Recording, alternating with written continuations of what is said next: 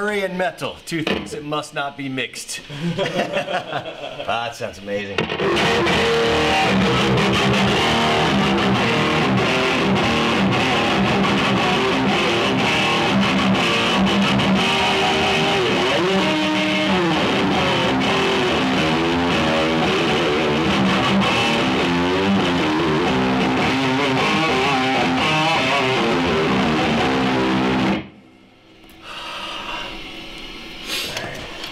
I know I know men in this village have testicles because you have harvested them for usage in this amp. I'm sorry to the people. What village are we in? Uh, Hell's Owen. I'm so sorry for the all the males in Halesowen for uh, having to donate your testicles to be used in this amp, but it's going to a very good cause, mainly my tone. Jolly good. Killer. Wonderful. Thank you. all right, we're on the rhythm on this one. I really like the rhythm. Yeah. I, I, I- I really think it's a it's a okay. So clean, clean. Uh, so we want to go to the boost, right? Yeah. Yeah. Okay, great. And uh, That's that's clean. That's, That's clean, clean. there. That's the boost. Yep. okay. Pre-boost. And we're on the, We're on the clean rhythm channel. channel. We're on the rhythm channel with the clean. Clean. Okay, off now the you're clean. on. Okay.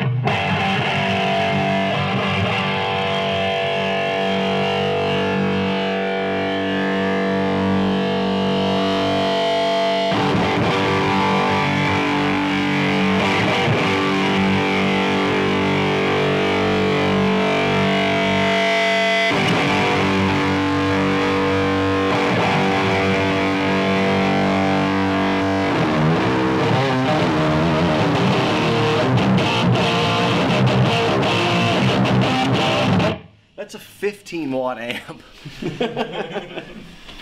Goodness gracious, man. That, sounds, it sounds amazing. Look, I've been asking uh, for a while uh, because of my good friend here, Simon, who also loves um, running a dry and a stereo rig simultaneously, and asking w- w- what would be involved in, you know, when you're a touring musician, or even if you're just a, a, a, local unsigned band who is who's traveling a good bit. A lot of times, if you're opening up for other artists or you're playing festivals, you got to get on and get off stage fast. And I will tell you from my experience, um, you'll be most likely asked to come back and play at a club or with another band a lot sooner if you have a better attitude and you're on and off stage quicker than you will if you're an amazing band and you have a bad attitude and it takes you forever to get your gear on and off stage. So having something like this that you can put in a rack, get it on stage and get it off in a quick I mean that, that's half of the things that that that young bands don't realize. You know, you can get in, you can be a great guitar player, and you can have a have a have a great set of songs. But the things you don't realize is that it's the music business, and the business side of things is is there's a stage manager who wants to kill you if you can't get on and off stage quickly. And having something like this is really for for myself is going to revolutionize the amount of volume. Um, because I'm going to get 50 of these. so, um, being that I'm not good at math, but it's easy to do. Uh, if I did, actually, if I got 100 of these, Frank, how many would that be? That'd be uh, 15,000. I think of like a trillion watts, which is uh, exactly what it takes to be metal these days. But uh, I mean, you would never think that you could put something in a rack that has tubes. There's a lot of people out there who have rack gear that, that's solid state, and there's nothing wrong with solid state unless you're me, and then you say no to that. You reject it. It's evil, okay? And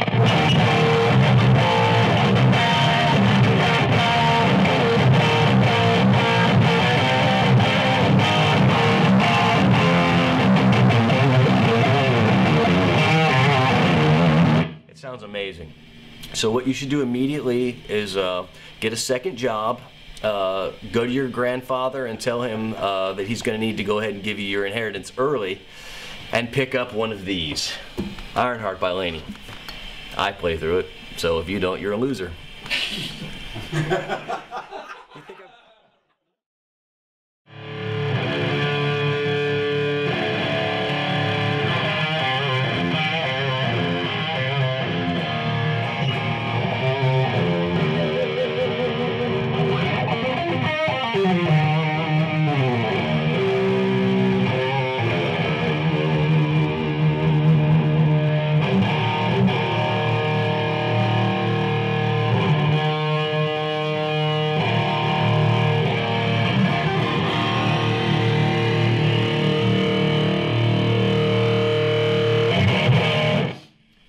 things that I've, it's taken me a while to kind of uh, find.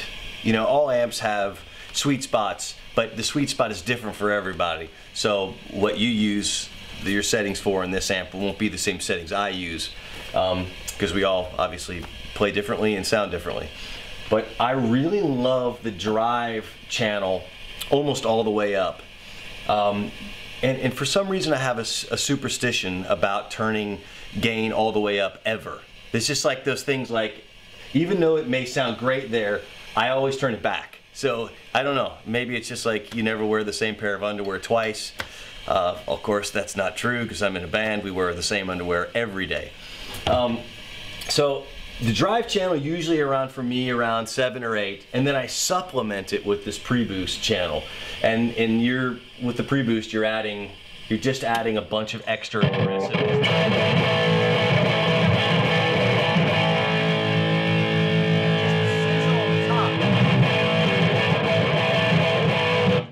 Average person, you- you're not going to sonically hear a huge difference, but what it does is it I actually feel the difference. It's an extra little, just a bit of.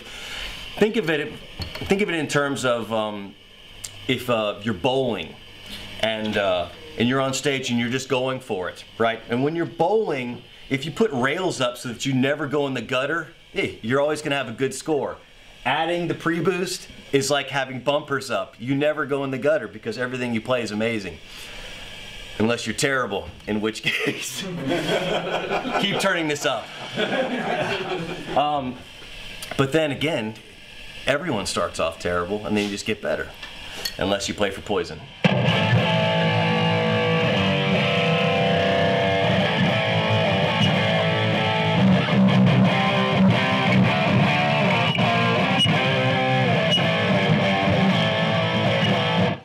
Reason I'm only playing chords for you is because the truth of the matter is, if a song is four minutes long, three minutes and 40 seconds of it will be awesome chords. And then there's 20 seconds of noodling.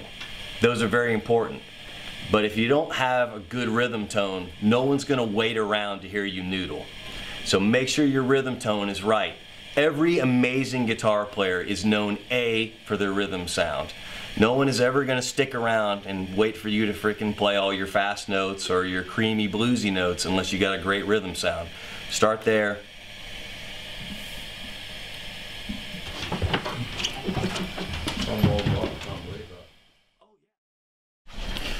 I forgot to tell you, this amp is on one watt.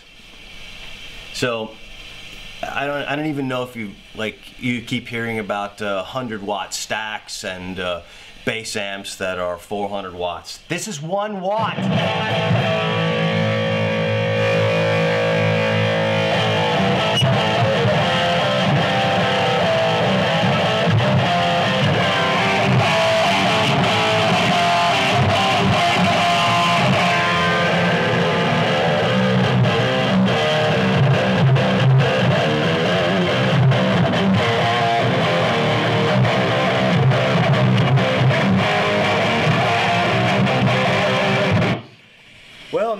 What you have to do.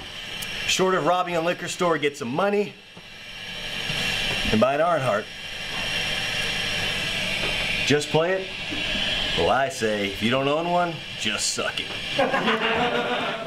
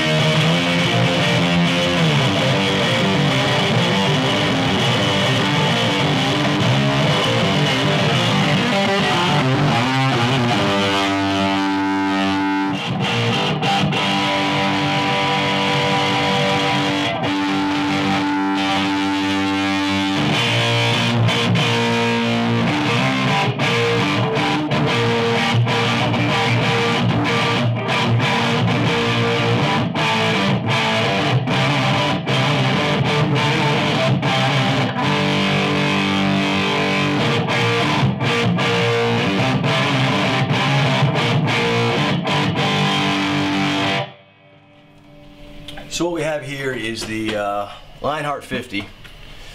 It's um, and not, not an amp that you would want to go and get lightheartedly because this amp responds to an aggressive style. If you're a subtle player, this amp may kill you and leave your carcass in the club uh, for punters to sell on the sidewalk for uh, curries and uh, various sundries like hobnobs or maybe I don't know what I'm talking about. Only thing I can tell you is that this amp has to be played loud. Think about some of the classics like ACDC and Thin Lizzy and Queen. Um, it's all about volume and a heavy right hand. So basically what I'm going to do is take a, a super classic guitar, play it as poorly as possible for your enjoyment.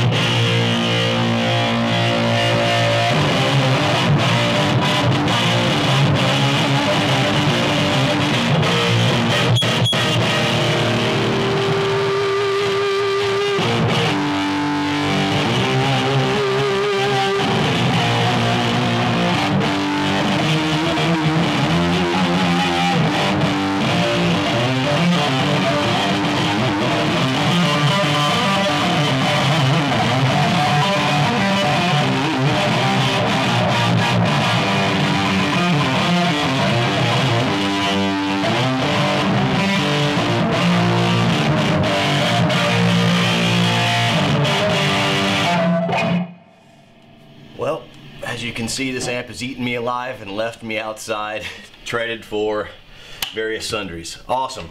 LH50, don't leave home without it.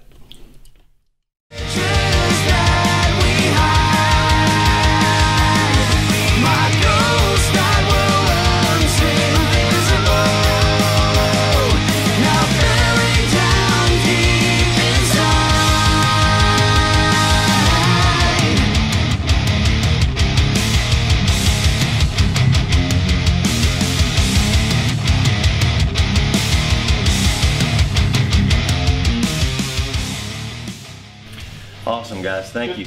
Super. I'm, I'm feel honored I played through it. Wow. Well, put it in the car. Rabbit.